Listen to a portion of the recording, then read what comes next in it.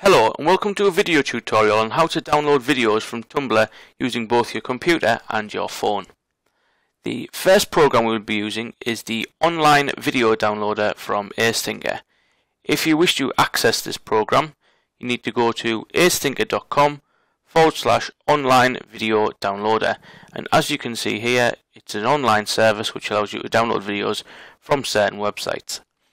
What you will need to do is find a video on Tumblr that you wish to download, copy the link, and in your video downloader, paste it in there.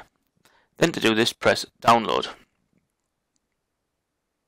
As you can see, it shows up the video here, and you're able to download it in standard definition and in HD in the MP4 format. When you click download, your file will then begin to download and if you click show in folder you can see it appear here.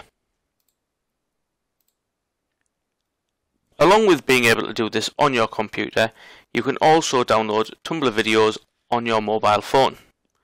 For this we will be using the Acethinker iOS screen recorder. In order to get this you will need to go to the products page on acethinker.com. You can see it here go to the iPhone screen recorder and click download. Once you've downloaded it, it will look like this. On the screen, you'll be able to see some instructions on how to do this. You need to make sure both your computer or laptop and mobile phone are connected to the same Wi-Fi network and you need to use AirPlay mode in order to connect it. Once you've mirrored it, you'll be able to see your phone on here. And you need to log into your phone. As you can see, I've got Tumblr open here.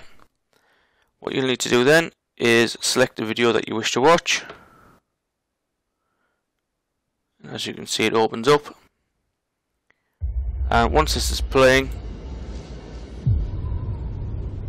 you can then record it using the record button. You can also take screenshots of the video as well.